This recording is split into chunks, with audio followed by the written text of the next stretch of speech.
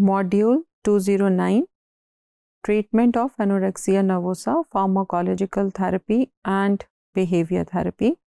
So first हम discuss करेंगे pharmacological treatment में, जिसमें जो हमारे पास ग्रुप ऑफ़ मेडिसिन हैं, वो दो तरह की हैं। Number one anti depressant number two is anti psychotic so चूँकि इनमें सेरेटोनिन लेवल जो है, वो लो होता है और रिसर्चर्स ये डिफ़ाइन करती हैं कि जो एंटी डिप्रेसेंट्स हैं उनके ऊपर इनका जो रिस्पॉन्स है वो ज़्यादा बेटर आता है।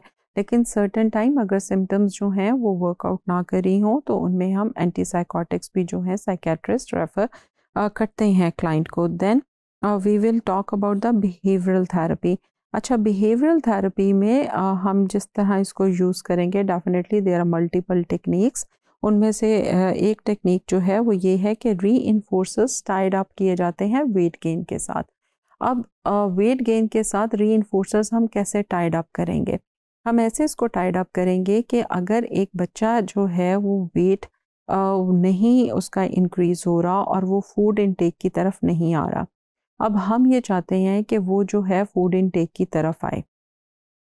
हम क्या करेंगे कि जो उसके री हैं, जिस तरह वो कमरे के अंदर बैठ के टीवी वॉचिंग करता है, या वो कोई कार्टून्स देखता है, या उसको कोई कलरिंग पसंद है या वो कोई भी ऐसी एक्टिविटी जो कि उसको पसंद है और वो कमरे में रहकर करता है, हम उसको क्या करेंगे? हम रिस्ट्रिक्ट कर देंगे, ठीक है?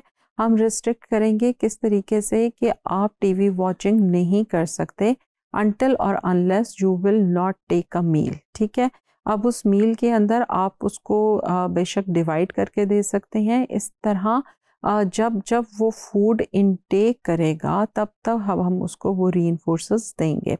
अब इसमें इंपॉर्टेंट चीज़ ये है कि बच्चे का जो री है, वो उसका कंटेंजेंट होगा ईटिंग बिहेवियर के साथ, ठीक है? तो पहले हमने उसकी बिहेवियर मॉडिफिकेशन करनी है। क्यों?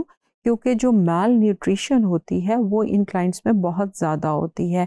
एंड वी कैन फील कि अगर उनको, हमें ये बात पता है कि they have the intense fear of gaining weight जिसकी वजह से वो फ़ूड इनटेक नहीं करते, लेकिन because they want to use that reinforcer तो उसकी वजह से जो फ़ूड इनटेक है, वो उनका डेवलप होना शुरू हो जाएगा। तो इस तरह जो री इन्फोर्सर्स हैं, वो हम वेट गेन के साथ टाइड अप करते हैं। Thank you